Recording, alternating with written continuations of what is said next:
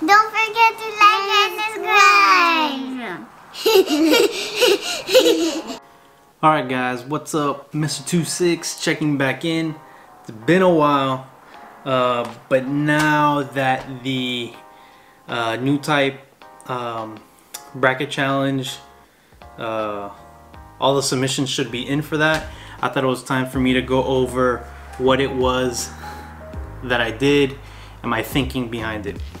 So first of all, in my first video where I explained uh, the kits I was gonna use and all that stuff, here's my little my little Tupperware with all the extra parts that I have from the three the flight type, a black Alto, and a red Portanova. And then not, not to mention the two weapons uh, packs and the, uh, the option parts uh, for both. So that was that. So I knew from the beginning I wanted something that was fast or that looked fast. Um, one thing uh, led to another. I was putting something together where I was gonna use the wings from the flight type and in my mind it just didn't look right because uh, by their design wings create drag so I didn't want that I wanted something that just looked fast and then the more I kept thinking and thinking and thinking I had been watching um, wing at that at that time and I was like man the Tallgeese is perfect. That was my base, the Tallgeese. And why? Because of its uh, super uh, uh, system. You know, the super dope, fast ass backpack he has on his back. Yeah, that. So, so the wheels started turning. I was like, okay. I started push, put, uh, kept bashing pieces together, trying to see what fits, how I can make that. And eventually it got to a point that I was at, I had something that I liked. So next was colors. Now this is where I got hung up the most and it probably took me about a month going back and forth, back and forth. Uh, should I should I spray paint? Should I uh, brush paint, paint with the brush? Uh, should I use the Gundam markers? What do I do? And then for about a couple weeks I was on the brush painting uh, bandwagon. And then on one of Zaku Aurelius's um, live builds, I decided, I just asked the question, what do you recommend for a first timer? Because I haven't painted, painted any model in 20 something years. So he was like, no, just go with, uh, he recommended spray paint. So I said, okay. So now, what color? that was my dilemma. So I kept just going back and forth, back and forth. Um, color on colors and eventually I was like you know what this thing is never gonna get done I went on Amazon uh, I bought every uh, Tamiya color um, spray paint that I can find that was prime because I wanted it fast so I could start and I ended up buying actually let me show you guys so I ended up buying two four, six, eight. Yeah. Eight different colors, mind you. And these were all prime. So I ended up, well, not, didn't really work out. But, okay. So let's start. So first I was like, oh, bright red. TS, uh, TS49. Sounds good. There, we go. TS49, which actually I didn't even use. Uh, gunmetal. The one I used the most uh, there's actually two of them here that I ran dry. Gunmetal. This TS38. I should have bought another one of these. Uh, German Gray. I use very little of. Just to te for testing. This French Blue. I love the color. TS10. Absolutely love this color. Come on. Focus in. Focus in. Come on, you schmuck. Ah, whatever. TS10. Absolutely love this color. Love it. Next was orange, uh, TS12. Alright, a little bit just for testing. And then I got the TS15, just the regular blue. uh, TS26, which is which is a pure white, which that's used, and then finally TS74, which is a clear red. And this one's pretty much almost done. I went through a whole can, a large can of the surface primer, the Tamiya Fine surface primer. Went through the whole thing. So I started testing colors. I started testing colors. Okay, what do I like? Um, there's a bunch of different things. I ended up getting one of the SD EX standard kits that I had laying around uh, and put it together. Um, and I decided, you know what, let me get that and let me just start painting, putting color combinations together. Let me see what I can get. Try to do some like the triangle camo that Night Not So Average Builder put, uh, did a little tutorial on. I was trying things. Um, for example, this right here, because I knew I wanted a purple, some type of purple. And you guys might not know this, but I used to work at um, in Home Depot in the paint department, so I did mix a lot of paint. I know what colors go with what to make what, and some of this is common sense. So this right here, this maroon, a gorgeous color, is actually the French blue with the clear red. That's that color combination. It's a wine, uh, cabaret wine color. It's, it's, it is a beautiful color. Beautiful. So then I started, I, I kept experimenting. I like, this was the blue by itself, the TS15, blue by itself. Again, this is a nice blue. It's like a, it teeters in between a, a navy and like a bright blue. So it's a very nice middle of the road color. And then one of the colors I knew for sure was gonna be on this, on my submission was this, was this color right here. I wanted something bright bright. And what this color combination is right here is that is the white with the clear red. And that was money. Is exactly what I was looking for. Something super bright in your face. Um, yeah, and I just I just love like the dark the dark colors with the with the bright uh, like tidbits to to contrast against each other. So, not being satisfied with the darkness of this color, the French blue with the clear red, I went a shade darker and this is a color I really, really, really wanted. And this was the blue, the TS15, with the clear red again. And this thing, I mean, Man, it's sexy. I don't even know if the camera can pick it up, but it is. I don't know how to explain this color. Oh, I know how to. It's like um, cherry coke.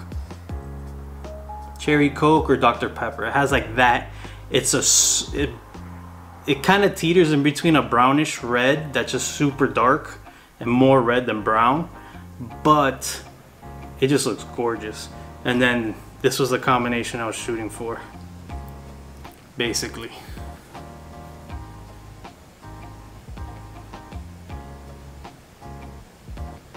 Oh, awesome. So then, once I got my colors down, started painting. Took the kit apart, started painting. First I did the frame, uh, the inner frame or what, whatever it is, the joint parts, in the gunmetal and I was almost done. Almost done. And then the paint was done. And I got scared. Cause uh, yeah, I couldn't get the paint anywhere in time. Um, the paint was no longer available on Prime, most of them. If they were Prime, they were not two days they were a week uh, in uh, expected delivery date. So that was out of the question. There's a local hobby shop that when the whole coronavirus started, they were doing uh, uh, deliver uh, not delivery, um, online order pickups if you lived uh, local, and they had all the colors I needed. So when I call them, they're like, "Yeah, no, we're just shipping the stuff now." No. So in my first not frustration because you know it was what it was i dealt with what i had and i just moved on because i, I, I wanted to get this done and I, and I didn't want to leave it just lingering there so what other place can you go and buy uh, spray paint? Lowes home depot probably ace hardware. So i went to home depot. I went to home depot. And what did i do? So I ended up getting navy blue. And this is a paint and primer one. I got two cans of this and this thing is still full. Uh, and it's a glossy uh, finish, which I don't care for. But that eliminates my primer problem because I ran out of primer too. Mind you, this that primer was only used on this project.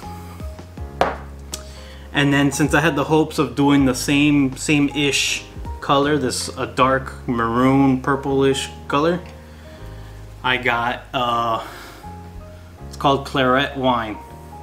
And my idea was uh, I know these these spray a lot thicker than the hobby paints, so I was paint, painting them at a distance. So this my idea was that this would be the base and this would be from far away just to get like like specks basically just to spray it so it just catches the dust the parts catch the dust and what I ended up getting when I did that I was actually happy with come on now you stay on it's right here I was actually actually came out really good I was surprised the problem was is that I couldn't guarantee that every part I painted was gonna come out like this. That was a problem. So at the end of the day, I just decided, you know what? We're gonna play it safe. I did it all with the navy blue. I still have my dark color and my bright color to contrast because I was still going with that red. I, I, I was good on the paint because there wasn't much I was painting uh, with that color combination the, the blue was more important. So, started painting. This paint starts drying. Excuse me. And I didn't see that, this this issue that much with the with the hobby paints, but I've seen it before with uh, home improvement paint or whatever you want to call it, uh, commercial spray paint. when it starts to dry, if if you didn't put enough paint, what ends up happening is that as it starts drying, you start seeing like these sandpapery um, finish. I don't know. I don't know what you would call that or, or, or what that is. And this was all over, pretty much the all of the outer parts. The entire armor is basically this color. So anyways, sorry about that. So I started getting that sandpapery, orange peel looking uh, finish. And I was freaking out. I was like, great. I did buy some clear uh, spray paint from Home Depot. I tried it and I didn't care for it. So what ended up saving me, or this project, was actually this guy right here. Mr. Hobby. Super clear, matte. It completely I don't know if you would say fix, but it saved my ass. Because this thing was gonna be hideous. I mean, the finish was gonna be terrible. And this thing came in and saved the day. I highly recommend this right here. Highly. Um, I was kind of hesitant because of the, the type of paint. I didn't know how it would mix with the commercial spray paint. Luckily though, everything was good. So, uh, so going back to the kit, I got it all done. I'm all painted up, and because of the color, I decided to do one thing. So this was blue. We've been playing a lot of Sonic. We've been watching a lot of Sonic. The girls are here every day because they're not at school. So I was like, you know what? It would be pretty cool if I put if I painted the feet of this kit like the Sonic shoes. And that's what I did. And it came out perfect. So without further ado, here we go.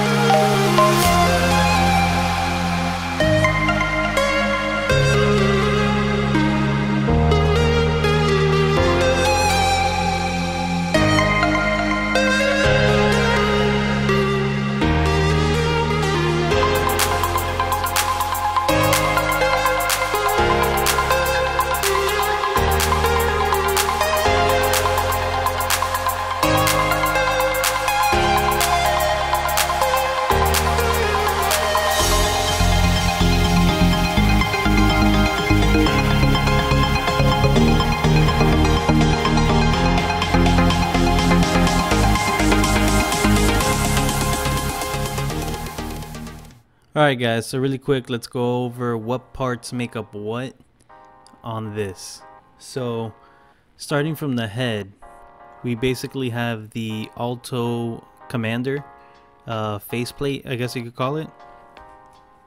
Coming down to the chest, we have the Portanova Commander, that chest plate, which I like because I think it matches the angle, the V from the chest matches the angle of the V fin on the head, which I liked. And then we're also running the right shoulder from the Portanova Commander. Um, and that was one of the things I liked about this design was the asymmetrical look, uh, not only in color, but at least in that part. That's the only part that's asymmetrical as far as uh, shape is concerned. Uh, working our way down, forearms. Oh, the left shoulder is just a standard alto shoulder. The two the two arms, uh, I guess I guess you could call it the bicep, forearm, and hand area, are all from the Portanova. The midsection, the the gut, and the I guess where that belt line, that's from the Portanova as well. Uh, going down to where the skirt armor would be, that would also be the Portanova. The thighs are from the standard Portanova, and the knee the kneecaps are from the standard Portanova. The shins, calf area, that's from the flight type, and then the the feet are from the flight type as well.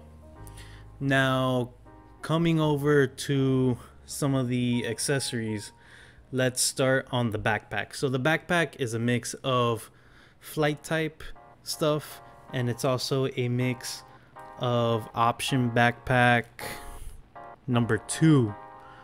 So that's how I, I just kind of put things together to see how I could get things together.